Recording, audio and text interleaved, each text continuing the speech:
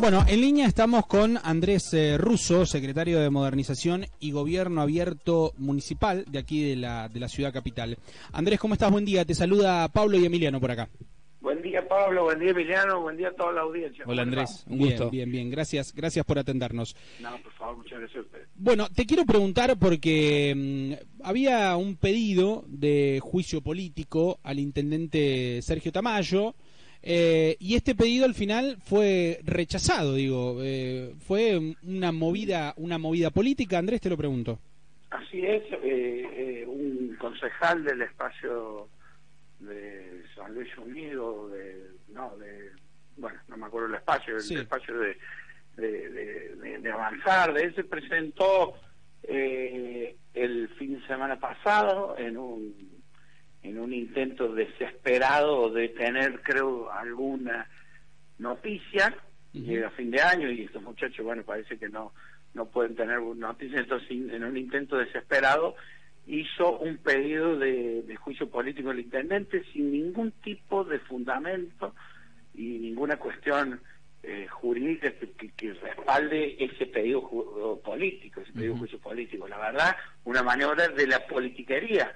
Yo le llamaría un juicio de la politiquería más que un juicio político, ¿no? Porque el juicio político es una herramienta que tiene prevista la, la Constitución, la Carta Magna, para cuando hay un desempeño incorrecto de algún funcionario público. Esto fue un juicio de la politiquería eh, en un contexto bastante particular como es eh, en los en las cámaras legislativas a fin de año. Bueno este muchacho aparentemente este, el concejal Araujo ha necesitado cierta prensa y quería 15 minutos de fama que bueno creo que lo logró con sus medios amarillistas que todos sabemos. Eh, ayer eh, lo trató la, la comisión permanente que está conformada para esto Ayer lo trató la comisión y lo desestimó por falta de mérito. Y esto salió con los dos tercios de, la comisión, entonces la causa, el pedido queda totalmente archivado por falta de mérito porque no tenía ningún asidero un, un mamarracho lo que presentaron y rápidamente fueron este, archivados como corresponde porque no tenía no tenía fundamentos para nada. Simplemente era un, juicio de la politiquería. Claro porque no, había, no hubo ninguna a ver en los fundamentos que ellos argumentaban para este juicio político no había ninguna prueba que avalara lo que ellos presentaban. Era era como decir bueno acá tengo eh, tengo esto quiero hacer esto pero no, no, había ningún fundamento. Totalmente, aparte habían hecho un pedido eh, hay, hay muchísimas vías administrativas y vías a través del, Consejo previas, porque como te digo, el juicio político es una herramienta que, que, la Constitución, que nuestra Carta Magna eh, establece, pero también hay que ser eh, consciente que, que la, democracia no se la puede querer desestabilizar simplemente con un pedido sin ningún tipo de fundamento, porque eh, una cosa es lo que el, este concejal Aurajo escribió, sí.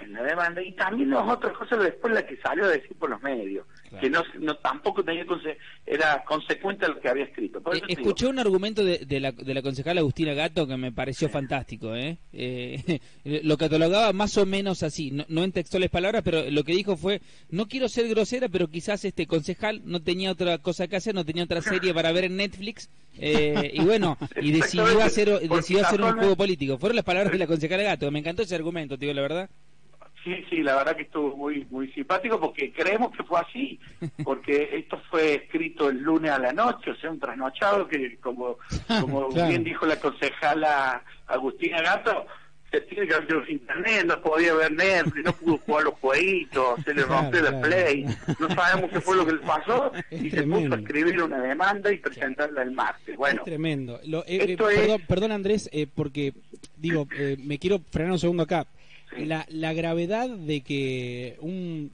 entre comillas, representante del pueblo eh, use su espacio, el espacio que le ha dado el pueblo para, para luchar por los beneficios de, la, de la, ciudadanía, eh, para este tipo de cosas, ¿no? Porque digo, perder tiempo, recursos en algo que desde que me imagino que lo presentó sabía que no tenía ningún fin, digo, no iba a terminar en No, yo creo que él en el fondo lo tenía muy claro, que porque en realidad su fin es otro su fin era tener sus 15 minutos de fama, eh, intentar eh, generar algún ruido llegado a fin de año, con todas las particularidades que tienen todos los fines de año, en, una, en un año muy complejo para todo el mundo, ¿no? Un año muy complejo, entonces querer eh, hacer ese ruido sí creo que es de una irresponsabilidad, creo que, que el pueblo que lo eligió para ponerlo ahí no, no lo no lo esté representando porque esto es politiquería, es un juego que eh, una señal que él quiso darle a su jefe político, claramente, porque no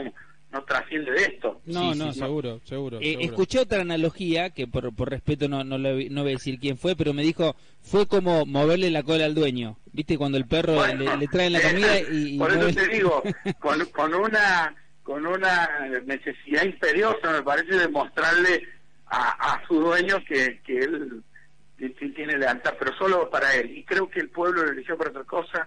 Nosotros consideramos que la construcción política se hace desde otro lugar, desde el mundo de las ideas, de, y, cada uno ocupando su lugar que le toca eh, eh, en la política, ¿no? Pero desde otro lugar, no se hace de esta manera.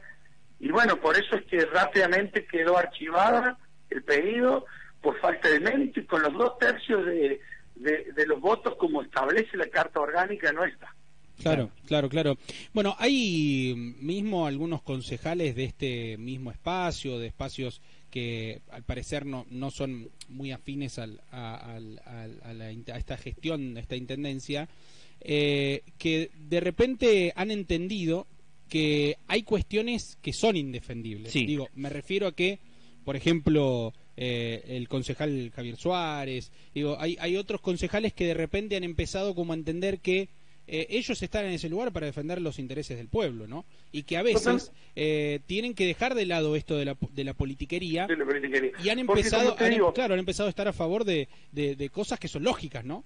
Sí, sí, que sin romper ideología, porque cada uno tiene su ideología partidaria y eso está bien y es válido pero entendiendo que la construcción política no siempre es, eh, o, como esta gente quiere entenderla, que es romper, desestabilizar, generar este tipo de maniobras que en, definitiva no le suman nada al vecino, le suman simplemente para sus espacios, para sus egos personales y nada más.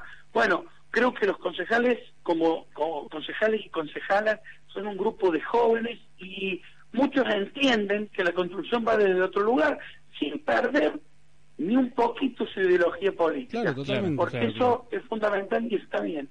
Andrés, eh, eh, raro también, va, no sé si raro, eh, o tal vez es para, para, para los que vemos la política desde otro lugar, desde otra forma, lo que le entendemos de otro aspecto, principalmente desde el punto de la comunicación, lo que hizo ISA. bueno, yo lo conozco el diputado, no me parece para nada extraño, es naturalmente siempre fue su forma de accionar.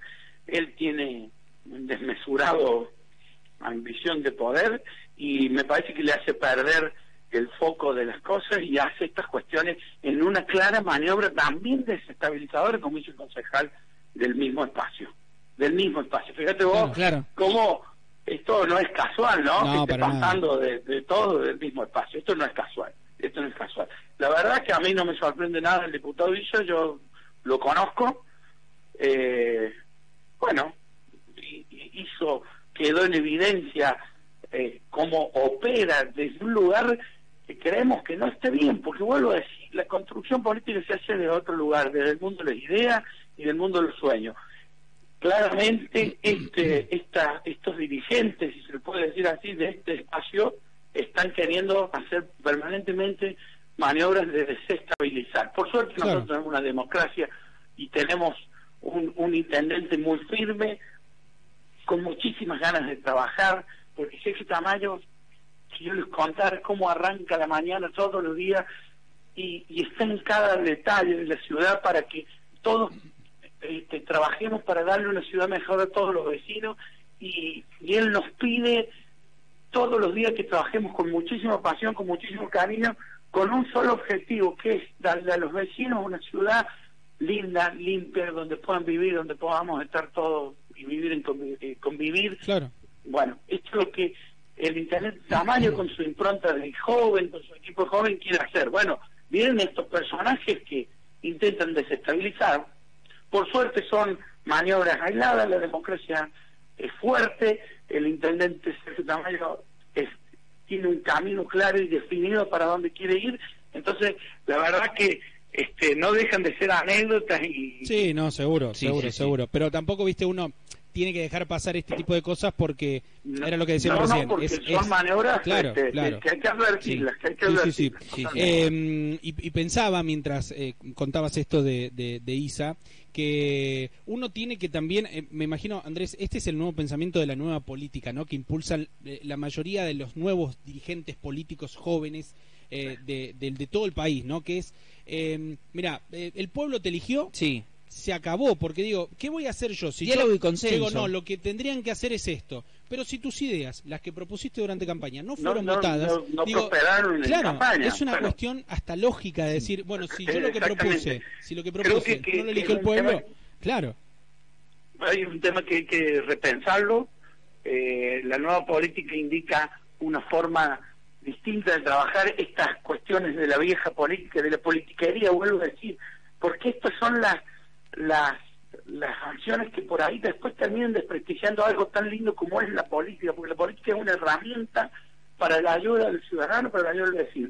Y este tipo de acciones son las que después terminan desprestigiando. Entonces creo que eh, somos un grupo de jóvenes, los concejales y concejalas y los y los funcionarios de la municipalidad y las funcionarias de la municipalidad y el intendente Tamayo y el gobernador, que es una persona que fomenta a los jóvenes, que le ha dado una participación, tenemos que empezar a, hacer un cambio en este tipo de acciones y, está bueno que las advirtamos para que no vuelvan a suceder y entender que la política se construye desde otros lugares. Y como vos bien decías, si no llegaste porque claramente no alcanzó tus ideas para poder este, llegar a, gobernar, permitir que los que ganaron, los que le dijeron al pueblo, puedan llevar a cabo sus ideas, que para eso lo pusieron, y acompañar desde el lugar que cada uno le toque, desde el lugar que cada uno le toque, sin entre, dejar un milímetro de ideología,